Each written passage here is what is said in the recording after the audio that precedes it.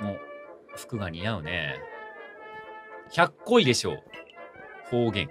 いや、その格好や。おお。はむしろ暑いくらいだけど。先生であればもっと冷たいところにおられる。真珠団だから混合団だからではなく、お前とは分かり合えねえ感じだな。そうだよ。神王様は空間を作り出された存在。言葉は悪いけど、関たち混合団の言う時間を生み出した神王様は違う存在じゃないのはいはい。勝手にそう思ってろ。で、どこに向かえばいいんだよ。先生であればいつものところだよ。だからよ、その先生って浜レンゲさんなんだよな。どこよ？浜レンゲさん。最も冷たいところだと言ったら、氷海のそばに決まっている。なってよ。行くとするか、ミヤ。はい。先生、これが。先生。裸。フレベースのキャプテンで、浜先生。関、図が高いよ。まずは名乗るといたしましょう。私は浜レンゲ。真珠団のキャプテンを務めております。すごお前さんが尊敬してるのか、それともけなしてるのか。何故クレベースを沈めるのです。荒ぶっているから。荒ぶることの何がいけませんか雪崩の可能性。お前さんの意志はどうなのですか沈める。雪原キングクレベースは誰にもどのポケモンにも迷惑をかけておりませぬぞ。アマ先生、熱くなってるよ。確かにクレベースはおとなしく何ら問題を起こしておりません。ですがあの巨体、いつ暴れるのかという皆の不安を取り除くのも務めではある。ある。一理よ。だが、それなら私たちでこのものを確かめねばならん。脳書きはどうでもいいか。ほら、ポケモン出そうや。なんか、こいつら雑だな。あ、ゴース。こいつら雑に試してくるな。やっぱ氷タイプ使いだよね、さすがに。二人目。ナイス。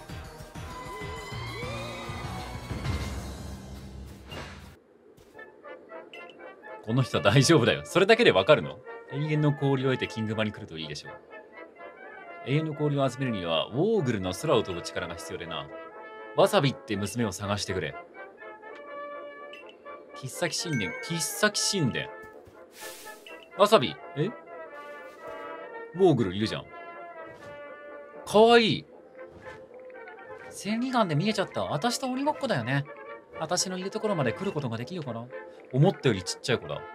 確かに飛んでるけど。お前さんわさびさん追いかける。わしは寸暇を惜しんで鍛える。好きにしろ。運じゃない主人公。これウォーグル？なんか眉毛厚そう。はじめまして、私の名前はわさび。よろしく、よろしく、よろしくです。あなたの噂は聞いてるよ。すごく強いんでしょ？わさびの遊び相手にいいかも。わかってるって。クレベースを沈めるためにウォーグルの力を貸せってことだよね。うん、いいよ。ただし、私を捕まえることができたらね。行こう、ウォーグル。鬼ごっこ始まる。鬼ごっこって言ってたから、捕まえろってことね。いけ。やっほー。寒い中ご苦労さん。ありがとうございます。ねぎらいの言葉。ありがとうございます。私追いつかれた？それともわざと待ってた？さてどっち？わざと待ってた。あとあとね、そもそも千里眼って本当かな？いやー、本当なんじゃない？他人にはわからないよね。さて、鬼ごっこの最後は、切っ先神殿だよ。追いかけてきてね。私は楽しいと思ってる？楽しくない？さて、どっち？知らん。教えてくれ。言葉にして教えてくれ。お前の口から聞きたい。はい。何でしょう？旅は道連れって言うでしょ？切っ先神殿です。入れるようにしてあげたからもう少しだけ追いかけてきてね。はい。仕掛けを解かねば進めませんが。えー、仕掛けですが、石像が何を見てるかがとても大事だ。めっちゃヒントくれるじゃん。そういえば石像の胸に何かの模様がありますね。めっちゃヒントくれるじゃん。コメント欄自分で考える、自分で考える。いい、いい、いい。ああ、レジシリーズ。あ、上の階あるね。はい。岩の模様が刻まれている。そして、鋼の模様が刻まれている。氷の模様が刻まれている。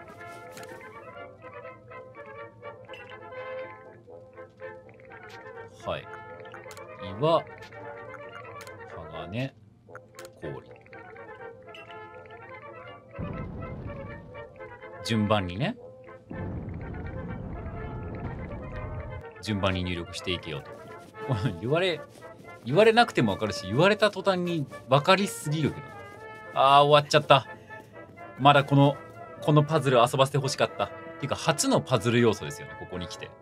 ウォーグルと共に空を隠すランタンが見えたけど、本当かな？本当にする。いや、っていうか、君のさじ加減だけどね。本気で飛びたいなら強さ教えて教えて。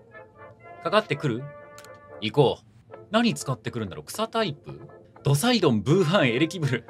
すご3段階進化のやつしかいない。うわしかもえぐすぎ。無理でしょあでも全回復はさせてくれるんだ。いや地面岩みたいなタイプいるか。いるかな。そして守りの力が弱まったところにマジカルリー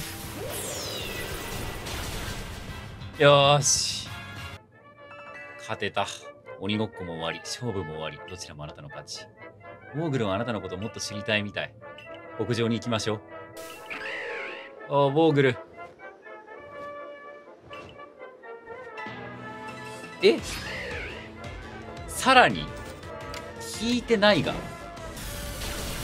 ゴリ押せ。よし。よかった。エレブーが雷覚えてて。ゴーグルが負けて悔しい。3対1やった後に。おい！そりゃ怒るでしょ。冗談だよ。冗談で済むことと済まないことがあるからね。一緒に笛吹いて。いや、同じ旋律なんだって。別に、その旋律わざわざわさびから教わらなきゃいけないほど違う旋律じゃないから、青空プレートを受け取った。飛行タイプね。おわさびはありがとな。人とポケモンが寄り添う世界か。どうして時空の裂け目からの雷でキングたちは荒ぶる？神王様はお怒りなのか？それとも試しておられるのか？何か試練なのであれば最後のキングプルベースを沈めれば裂け目が空いてる必要もねえよな。試練をこなしてるのは翡翠に暮らしてた俺らではなく銀河団のあんただけど確かにね。何知恵者の真似事をしてるの？関さんは考えるのは苦手でしょ？うるせえな。時代の変化ってやつを感じてんだよ。そして時代の変化を起こすのはあんた。俺はそう睨んでる。なんか未来から過去に持ってきてその上でなんか過去の住人に影響を与えるってアルセウス何して何してんのって感じだけどね。このなんか時代の変革をさするのが主人公以外の周りの人間たちじゃなくて今基本的に7割8割ぐらい主人公がやってるじゃん。主人公に影響されて周りの人間が頑張ってるみたいな感じだから。なんかどうなん？主人公がいなかったらこの世界おかしくなってこの世界多分このままポケモンとの共存がないまま終わってたよね。関さんの話面白い？つまんない？さてどっち？ウォーグルと大空を舞いなよ。飛び降りたらウォーグルとどこまでも行けるよ。あ、滑空なんだ。空を飛ぶじゃないんだね。これって普通に飛び降りていいの？あ、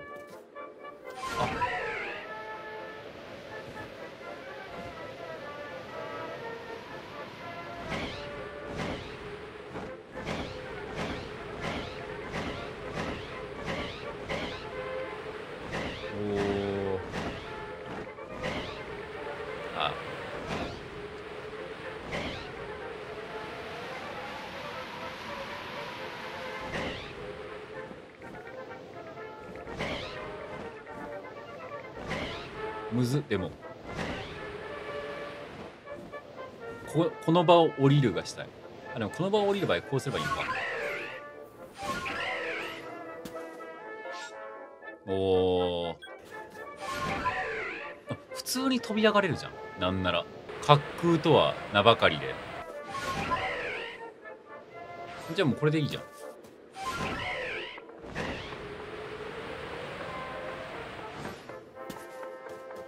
もしかしてクレベースってこれ？そんな気はしてたけど。永遠の氷を手に。お登ってきた。じゃあ別にいらなかったかも。えー、っとこっちか。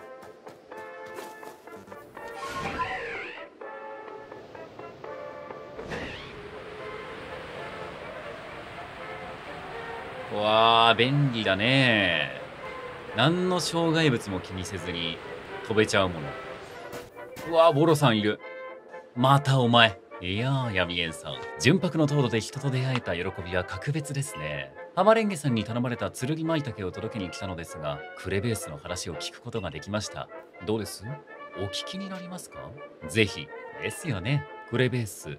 翡翠地方5匹目のキングですね。あれだよ。あいつはとんでもないぞ。教えていただいた話では氷の塊のよう氷の塊を弾幕のように打つだけではなく大きなつららを放ったり地面から氷の結晶を突き出すそうです。強すぎませんか？ちなみに古代のクレベースは高さが50 30メートルもあったそうですよ。大きすぎませんか？あれだよ。剣舞茸を食べてからの筋肉特訓は効くんだよ。よし戦場に行くとしようか。君の筋肉特訓のためにてかその髪型どうなってんの？難しくない？その髪型維持するの？後ろ髪センターパート。では永遠の氷を使い沈め玉をご用意しましょう。作り方は聞いていますし私の筋肉があれば一瞬。やってる場合か。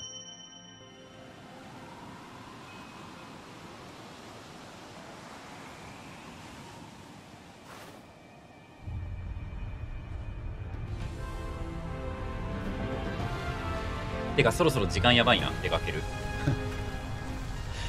うわー。まあまあ思ってたよりはでかくないけどまあまあでかい。こいつ捕まえて捕まえてってか沈めて出かけるぞ。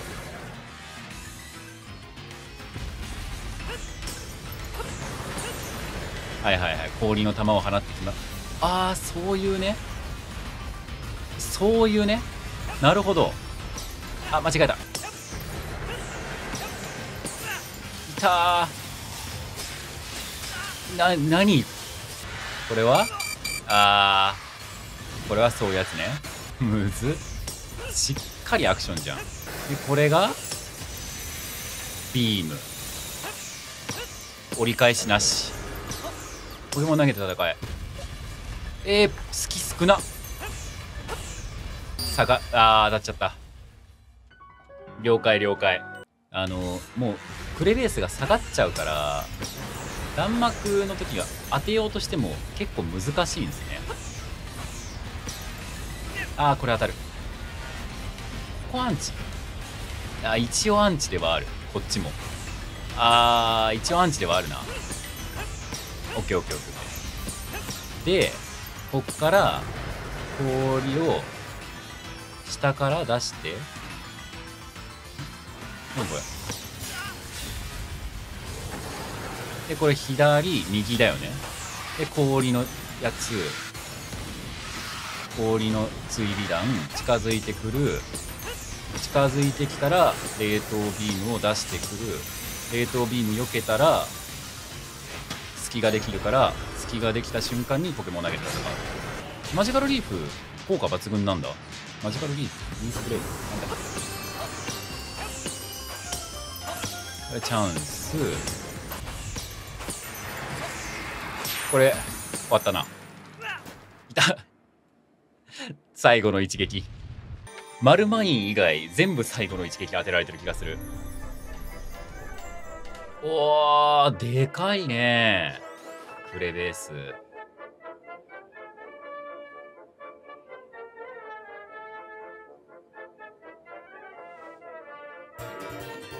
つらのプレートを受け取った本当に？プレートを渡してる素振り見えなかったけど。これででも新王様の加護を受けた10匹のポケモン怪しし様バサギリガチグマん？ドレディアイダイトウィンディオーニューラマルマインでウォーグルクレベースで10体か。倒したんじゃないですか？浜先生は神殿を心に大事に思ってくれてるし新王様を心から信じているの。プレートも全部揃ったんじゃない？ボロさんが言うには。だから混合団や銀河団と交わり新王様を思う気持ちが薄れることを誰よりも恐れて懸念されていたの。うーんなるほどね。アラブルキングを全て沈めた。自分の裂け目も何か変化しねえのかよ。心なしか裂け目が小さくなったようだけど。そのようだな。全てのキングを沈めたんだ。天木の旦那のしかめっ面どのように変化したか見に行こうぜ。おー報告をする。いやーこっからでしょでも。絶対に。